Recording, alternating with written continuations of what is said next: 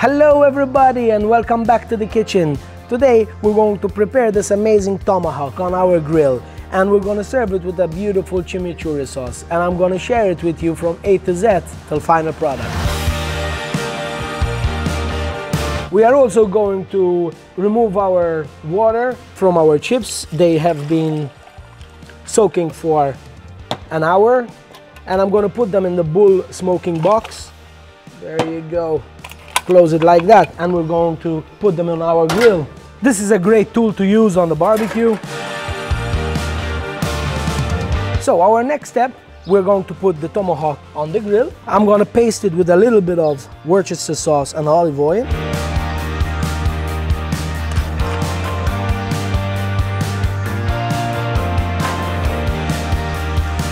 Beautiful. This is also a brilliant tool. It will seal itself much quicker. Now I'm going to prepare these amazing potatoes on our potato rack. This accessory is very handy. Just stick the potatoes like this. I'm going to slice it on the top, paste it with olive oil and chuck it onto the grill.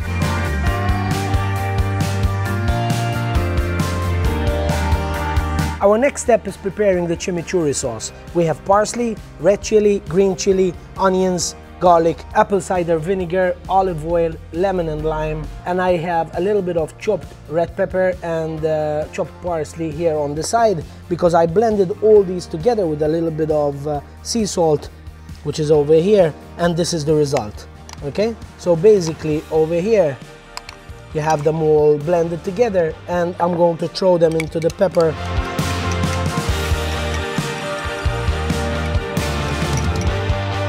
and the parsley mix it together so I have little pieces and bits in my chimichurri sauce.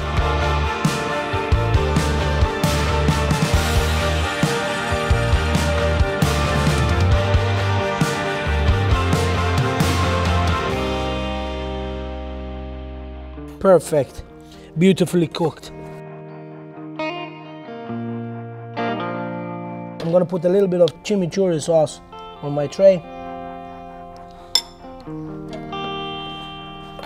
Can use.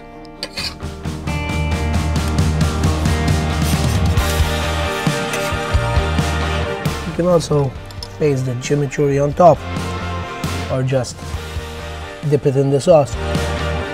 Mm. Beautiful.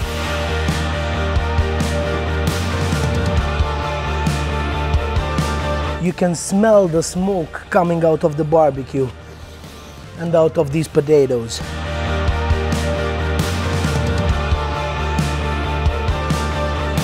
Thanks for watching the video. We hope you enjoyed it and if you did, don't forget to subscribe.